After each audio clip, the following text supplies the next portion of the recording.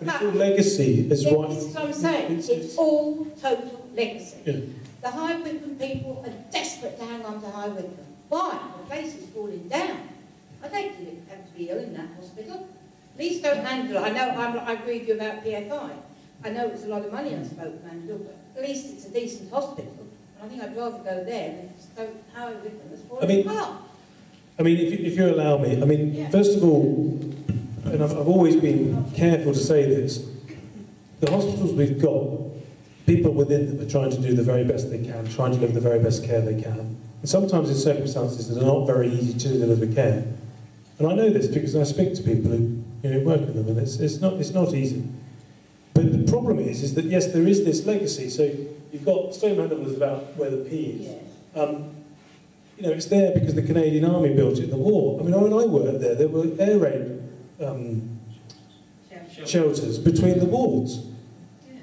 Okay, and, and, and so, and you find Wexham's there because the farmer's daughter was looked after well at Upton, so he gave them a field. I mean, I mean, who would put a hospital in Wexham? I mean, the road system? I mean, it's nuts. I mean, have you've been to Stoke Mandeville? Have you seen the road that serves that hospital? And then we've got Heatherwood. I mean, the, the, the, sense of all this, but it's because Heatherwood was the Astor family bequest. And it's legacy. No one's actually sat down and gone, right, okay, we've got these motorways, we've got these bypasses, we've got these growing communities. I mean, Bracknell, Maidenhead, Wycombe, I mean, they've grown in my lifetime. You know, I was born about, you know, here, and, uh, you know, the numbers of houses that have been built, the, the population of growth. It's been huge, it's been immense. When did we get anybody going, right, okay, we're going to increase the population by a couple of hundred, 300, 400,000 in my lifetime? I should imagine it's doubled. Looking at my father, who was born in High Wycombe, I would imagine the population in this area is doubled in my lifetime. At what point did we say, okay, we'll, we'll, we'll, upgrade our hospitals then? Never. Never's never happened. It's just been piecemeal. It's been, there's been no strategy to this. I'm, not, I, I didn't manage to get here early enough to see your description there, but i- i- in your proposal, you, you have within your green line, which I imagine is, is the area that has a potential for service, being serviced by the new hospital. Yes. But, but you have Royal Berks Hospital in it. Is it, uh, is it not true that Royal Berks is an equally large hospital? It's not big enough. It's not Doesn't serve a big enough population. So it needs closing as well? No. In the plan, this is not included in the plan. Okay, in the plan I originally published, I chose to go with a merger of South Bucks and East Berkshire. Yes. Okay? The point I made, I think it was before you came in, Andy, is, is that actually I've never been wedded to any particular location. What the whole thing was about was the need to consolidate acute sites. Yes. And what's happened is that now Heatherwood and Wexham is merging with Frimley. It's possible that this might come in- into play as well. yes. And when you do that, you end up, you, you, you, the, the epicentre of population is about here, I think it's between 8, 9 and 10. Yeah. And, and so I included that because it clearly was in 20 minutes of here, blue light. I think that's what It green makes much more Yeah. sense due to the Of course. lack of, the lack of, Of course. space around that. Of course. But I didn't get too wait, I don't want to be too wedded to one merger going to this it has to be here. This is more about saying how do you design a healthcare service so that you can have one big hospital here or wherever on this, this road and then you go out spokes out to other hospital sites providing the community care that you've described Andy. If you maintain an acute site here an acute site at Frimley, an acute site at Royal Berks, a semi-acute site at Wycombe. This, is, this doesn't make sense to me. It doesn't make sense. For it? And it's not just that. Just having the, forget the money. I know money matters. Clinical outcomes. Do you survive or not?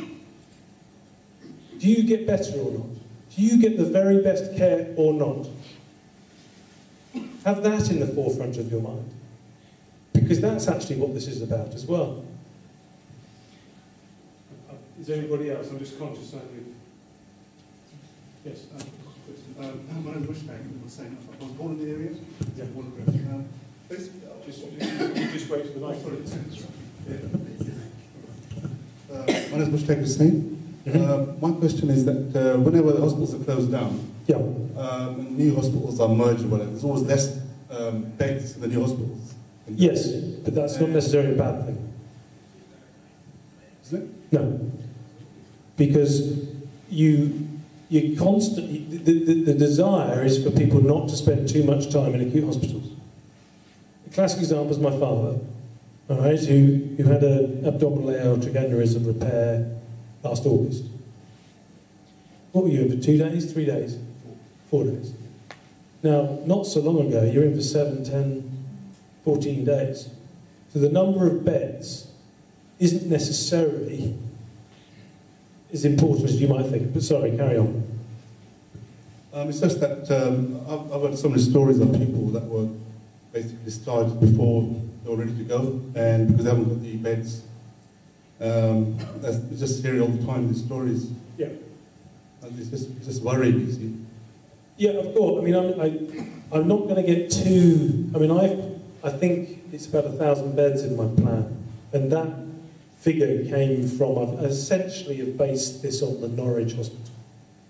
The Norwich Hospital seemed about the same sort of size of hospital to serve this type of population. Um, I suspect if this one came into play, you're going to be up at that sort of level. Um, but I wouldn't get too worried about the specific number of beds. It's how you structure your care. When a number of beds get used by a patient three times in a day, so they've got day surgery and what have you. Um, so it's not necessarily a measure of a good hospital or whether the service is going to be there. It's got some relevance, but not as much as perhaps you might think. Um, one quick question. Um, after this meeting, what happens? I mean, will this consultation go? What's the next stage after this? Well, I mean, this is my own little sort of carnival around the area, basically. I mean, I'm, I don't have any power to say, right, we're going to do this. This has actually been an exercise in trying to go out to the community of the region and say, this is what I think.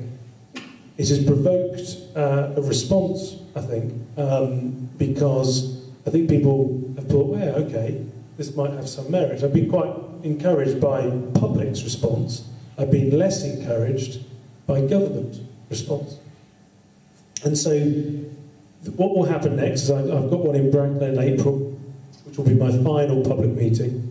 Um, and then I've got some people offering me pro bono architectural help.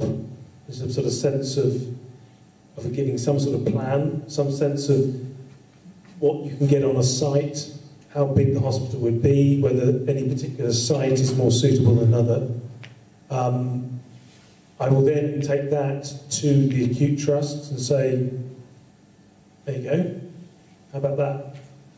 I think, uh, and then I suppose my responsibility will be to keep lobbying up at Westminster and in Whitehall to try and get the Department of Health to actually have a strategy um, because it's bereft of one, it seems, on this, in this area. Um, and then I guess the only other sort of strand to this, going back to what was said earlier, is that the people on the ground have got to try and build some momentum and some interest themselves. I, I mean, it's just me here and my researcher. My office can't do it really. I mean, we're not in the, we're not set up for that type of campaign. Um, and just don't have the time to do it properly. But you need to set up campaign groups in different areas to lobby the commissioning groups, because the commissioning groups are essentially the people who will be paying the bills in terms of the ongoing cost. The acute trusts are going to be looking at their accounts going, right, well, how can we provide these services? I'm under no, I mean, no doubt they're going to have to consolidate at some point. The question is not about if, it's when. And it could be 10 years away, because it might be so they get dragged kicking and screaming to do it. I think it might be earlier than that. Um, and at that point, you see, because I've done the sort of, well, M4, M4, M4, M4, I'm hoping that that will then be, oh, well, that annoying MP's been going on about this for the last 10 years. Why don't we have a look at his plan? And the final thing I'll say is, is that what I didn't mention earlier is in 1989, um, Deloitte were paid um, to choose a location for the population. This was just for East Berkshire, and they chose this location. And the then health authority ignored it, ignored the advice. And I didn't know that before I started on this. I, I was told by somebody who was the then chairman um, locally, and he said that they'd produced this report. So instinctively, I think location is here. Some, it's, it's this sort of stretch, and you know, I mean, where we're standing, you can get to Junction 89 quicker than you get to Wexham. I mean, that's the amazing thing about it. I mean, where we're here now, you'll get to Junction 89 before you get to Wexham Park. I can tell you that now. See, most people are worried about uh, having enough facilities and uh, the cutting down of beds and stuff because the population of Slough is growing. Oh, it is, yeah. There's a baby boom going on here. I know. Baby boom. It's Polish. And large numbers of people are coming here as well. And the next two, three years, there'll be thousands, of, tens of thousands of people are going to come to Slough, uh, from what I've been told, from Yep. Bulgaria and Romania as well. Yep. And the services are already stretched quite a lot. And Yep. so what I'm saying is that if we have, if you have cutbacks or if you have less, This isn't about cutbacks. This is not about cutbacks. this, is about structuring it in a way that's a better way of delivering care. Uh, um, don't see this as cutbacks. This is not austerity Britain. This is actually being driven by good medicine, clinical care delivery. Um, you're right. I mean, one of the reasons that Heather and Wexham is financially, you know, position it's in is because maternity services at Slough are doing this. I mean, it's just, and it's mainly Polish and newer communities in, um, in Slough. And yes, I mean, Romanian, Bulgarian, who knows? I mean, it's, it, it, it, it's, and I think that this is, this, this, there's even more impetus to doing this because um, it's, the hospitals around this afternoon, I, I, was, I worked as a GP today, first time in six weeks, and I had a really sick child came in, and um, I had to refer them into hospital. It took five minutes for them to answer the phone, and eventually then I get a message saying, we're under pressure, and um, you know, we, we really, are, you know, we're, we're at maximum, we're, you know, we're at the full limit, blah, blah, blah, blah, and I'm thinking, you know, does this make a difference to me referring my sick child? And that was a hospital um, not too far away from here. Um, and, and I just thought, you know, this is now. This is before all the baby boomers hit their 70s and 80s. This is before the migration that you're referring to. It, it, it's, if I thought we had a health service that, in terms of infrastructure in the area that was fit for purpose, do you think I'd be wasting my time? Gentlemen.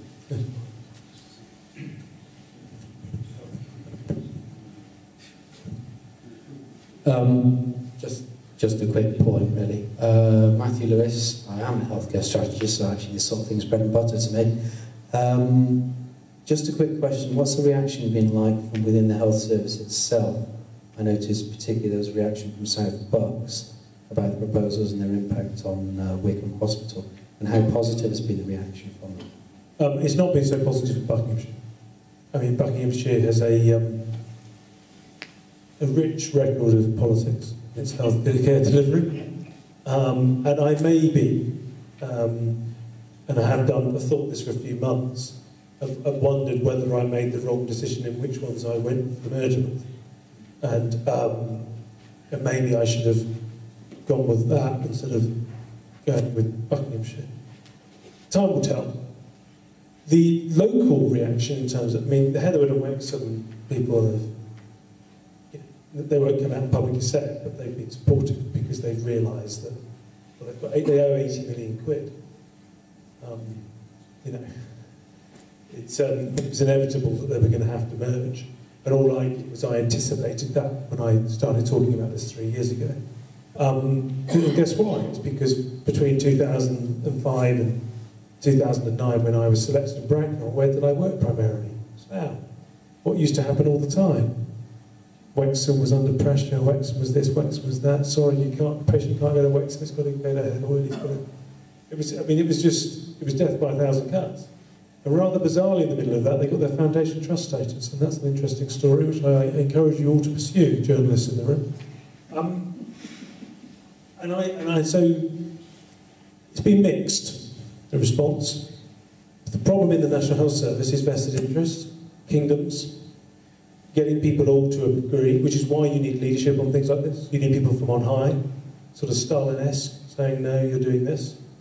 Um, certain, there's a certain irony, actually, that a socialist healthcare system has a lack of central control. It is certain irony in all that. Um, but that's actually what's needed.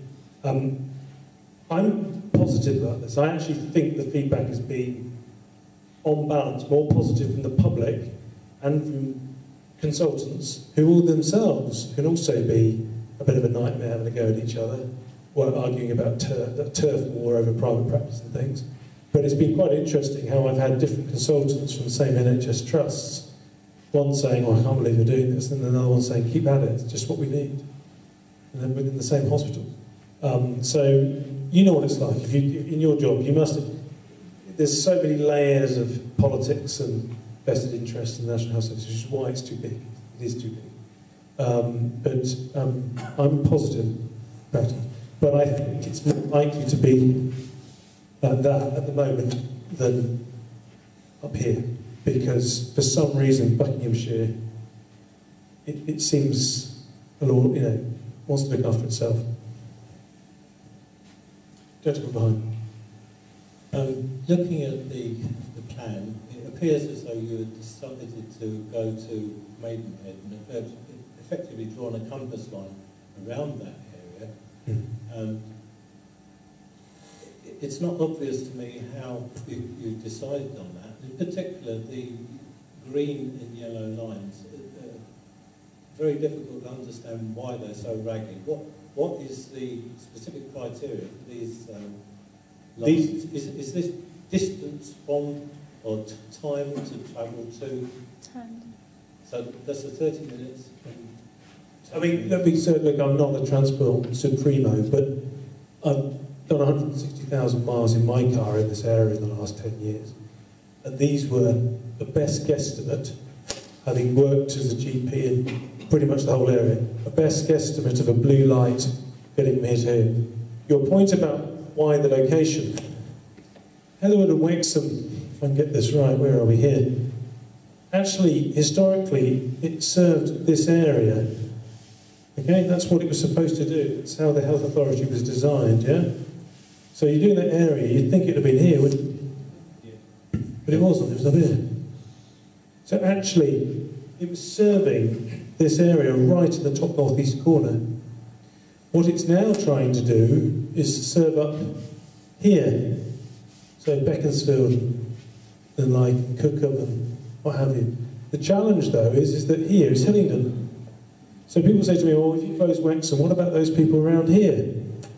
They've only got there 15 minutes in the blue light to Hillingdon. My, at the moment, the people of Bracknell have got a 40 minute blue light to Wexham Park. 40 My problem is I, I live on the south side of Bracknell. I live, I live on the south side of Bracknell. Yes. And to actually get to Wexham Park, where I've been referred, is Oh. a six bus, Yeah, it's, six leg it's disgraceful. which takes something in the order of about four or five If, hours. if you don't, if, forgive me, sir, if you don't mind me telling you, why are you going to Wexham? What is it you're going to Wexham That's for? where I was referred to. So. Yeah, it's an outpatient appointment, isn't it? Yes. Exactly. I'm not even telling you that you're going to go here for your outpatient appointment, sir. I'm suggesting you're going to go to, Bra- to Bracknell for your Which outpatient has already um, been Do you understand? Do You understand that, sir, don't you? I do, but there's already been talk of uh, the uh, Brants Bridge being uh, underutilised that they're, they're possibly going to withdraw it. No, no, no, no. No, it's not underutilised. It's because the Royal Berks can't afford to get it out. The second floor is empty. Yes. It's actually also a building that's not really fit for purpose. They bought the building and then converted it. Okay? And they borrowed the money to buy it. And now they're finding it difficult to fund it. Because there was no And there's also contractual problems with regards to local patients being using the services. You could only use the services in Bracknell if you're under the care of a Royal Berkshire consultant. The whole thing, it was actually, I mean, I inherited this situation, show. This, this predates me. But you had a situation, sorry to get a bit parochial here, those who are not from Bracknell, but you inherited a situation where apparently I was supposed to be defending Bracknell Health Space, Brants Bridge, and Heatherwood. Yes. That was the political advice I received in 2009, to which I said I'm not. How on earth can we have three sites within three miles? This is madness, we need one. Which is why, actually, this ceasing to be the case, I thought was good news, because it gave Brants Bridge a chance of being an enhanced site. And if Heatherwood goes the way that it seems to be going at the moment, more sites can consolidate in Bracknell, sir. You don't need to go on six buses to Wexham. You can just go down the road to one site and you can have your outpatient appointment with your consultant. Because he'll do an outpatient appointment in Bracknell once a week and he'll rotate round. Because if he's a consultant here, he'll do one in Bracknell, he'll do one in Wycombe, he'll do one in Slough, and he'll rotate round. He'll do all of his operating here, all his cardiology interventional stuff, whatever, all the clever stuff here, but he'll go around and see his patients.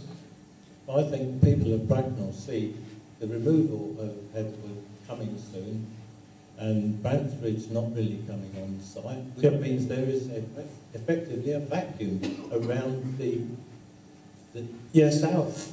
Which is why, in the plan, sir, you will read that I will not speak quiet if they try to close Heatherwood Hospital without implementing a full overview, strategic plan like this. If they try to close Heatherwood and not actually replace it with anything, then I'll start getting annoyed.